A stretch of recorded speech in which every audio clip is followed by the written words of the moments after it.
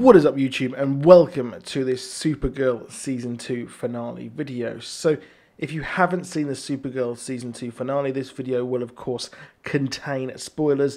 And I'm sorry if you continue on, I cannot be held responsible for your spoilers.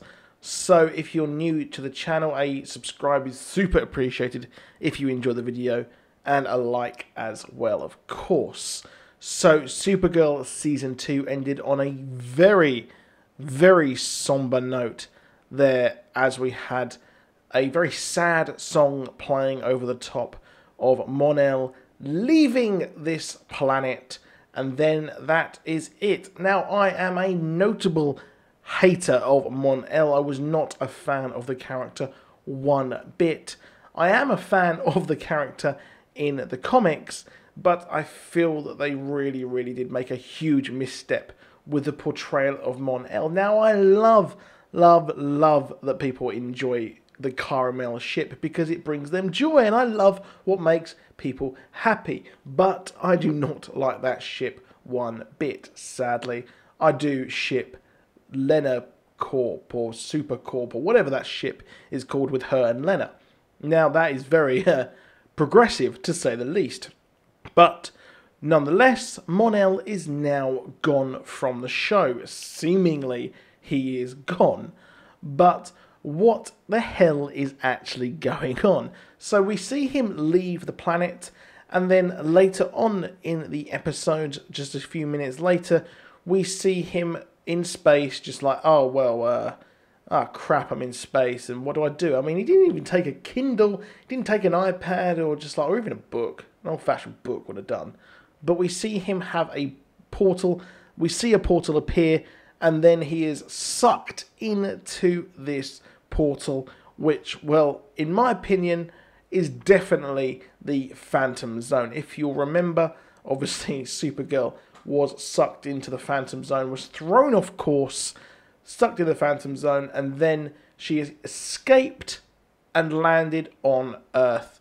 Years later, after when her, her cousin actually landed on the planet and she was not aged at all. So, what the hell is going on? So, the reason he actually left the planet was the Earth's atmosphere or air was going to contain lead, which was the ultimate final solution against the evil Daxamites, which makes sense because they are totally allergic to the old lead. It's not like a gluten allergy, it really does actually fucking kill them. But the Daxamites are gone, Mon-El is gone, so this has a very big connection to the comics. So originally, when Lar Gand, or Mon-El, landed on Earth, he was convinced that he was a kryptonite or Kryptonian, even. He was, it wasn't just a ball of kryptonite. He was with Superboy, and Superboy tricked him by using a kryptonite look-alike. So he used a lead, made it look like kryptonite, but then it turned out that, well, he was a Daxamite who was really totally allergic to lead, of course.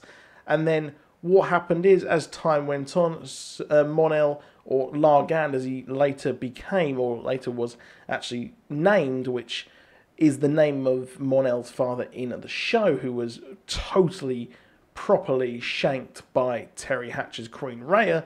Well, what happens is he is then transported into the Phantom Zone using the portal in the Fortress of Solitude, and then Years later, he is found by the Legion of Superheroes, and Brainiac 5 manages to help or have the cure for this.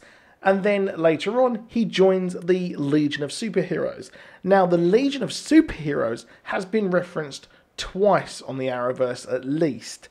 We have had it featured, well, the ring was featured in the all those premonition kind of speed force things that we saw on the Flash, and the ring is also in the Fortress of Solitude in Supergirl.